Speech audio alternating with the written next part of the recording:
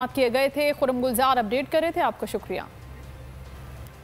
और अब कुछ बात इमरान खान ना अहली केस की, जिसमें बड़ी पेशरफ हुई है। इस्लामाबाद हाईकोर्ट ने लार्जर बेंच तश्कील दे दिया है, दे दिया है। चीफ जस्टिस आमिर फारूक की सरबराही में जस्टिस अख्तर कियानी और जस्टिस अरबाब मोहम्मद ताहिर 9 फरवरी को इमरान खान ना अहली केस की समात करेंगे। इमरान खान ना अहली केस में बड़ी पेशरफ सामने आई है। इस्लामाबाद हाईकोर्ट ने लार्जर बेंच तश्कील दे दिया है। चीफ जस्टिस आमिर फारूक की सरबराही में जस्टिस अख्तर कियानी और जस्टिस अरबाब मोहम्मद ताहिर नौ फरवरी इमरान खान ना अहली केस की समात करेंगे। इमरान खान ना अहली केस में बड़ी पेशरफ देखी जा रही है। तफसीलात जान लेते हैं। बोल न्यूज़ की नुमाइंदा नीलम अरशद से। नीलम, क्या तफसीलात है?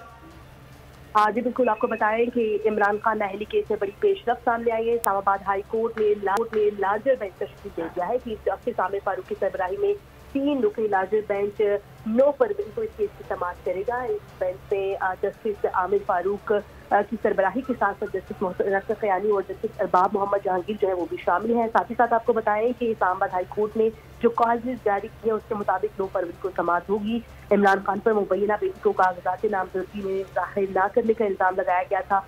शेरी मोहम्मद साजिद ने इमरान खान को नाहल करने की सजा कर रखी है गुजशत समाज पर आपको बताएँ कि जो इमरान खान के वकला है वकला की जो टीम है वो अदालत में पेश हुई और जस्टिस आमिर फारूक ने बरहमी का इजहार किया। चीफ जस्टिस ने कहा कि आपने बेंच पर एतराज़ उठाया था हमें एक लाजिम बेंच बनाने का कह दिया है। इमरान खान अहली केस की समात कल इस्लामाबाद हाईकोर्ट में होगी। बहुत शुक्रिया नीलम अरशद इन तफसीत के लिए।